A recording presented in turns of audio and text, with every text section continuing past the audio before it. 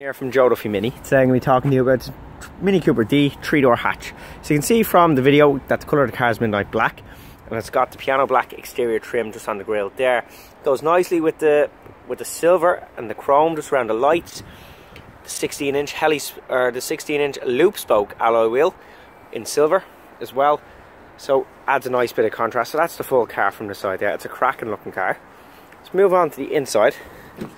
So it's got the firework cloth carbon black seats, of course, which are the most famous seats you'll see in a Mini.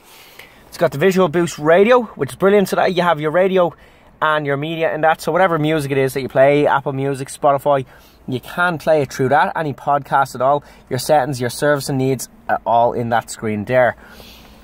You can use down your sports leather steering wheel with multifunction controls to control that radio. So you can see here, our volume, our hands-free is there as well with cruise control on other side. So the benefit of the steering wheel is extra comfort. So we've automatic window wipers and automatic headlights there as well.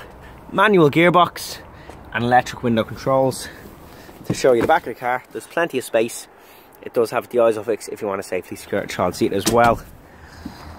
To show you the boot of the car, pull underneath the Mini logo. As you can see, there's plenty of space.